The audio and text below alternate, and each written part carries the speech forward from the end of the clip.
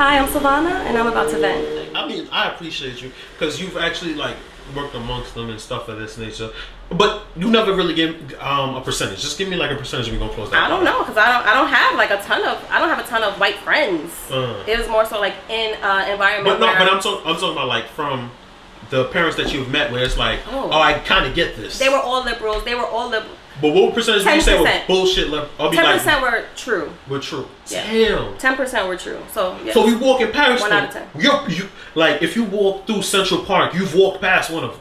As a black person, you've walked past one of them. Is what you could say. No, see that's different because Central Park has a bigger scale. Mm. I was in a liberal independent school. So Mhm. everybody there most likely was voting Democratic. That's but that's But but one that- out that's of what I'm saying. But you know, like somebody in Central Park is voting But one out of those ten Was- probably understood. Body. the. You understand? One I out of those they all was voting, So like I'm saying, like I could be walking past, like in New York, I could be walking past the most liberal of liberalists. Don't mean they're not a white supremacist. doesn't mean that they're not. Yeah. Yeah. I- Yeah, I- that's that's a fact. I'm not trying to say they're going to be as woke as you, Mm. but at least they would understand somewhat. Mm-hmm. Like I had, I did have parents like this is not right. Like one in particular, white, Mm. and I and when I say rich, like it's a different level of rich because we have a different idea of rich black black folks. Mm-hmm. These people rich is like I'm shitting on you, rich. Like I got so much money that shit that you are putting up and posting. That's just like, what? What that, please? You know what I'm saying? Like Yeah, this is just light. that everyday life, Yeah, that's like. light work. So it's a different Mm-hmm. environment. And I just realized that they just didn't. Ha- it was not on their radar because it didn't have to be. But when they get woke, What how do they? How do they be? Are they usually genuine about it?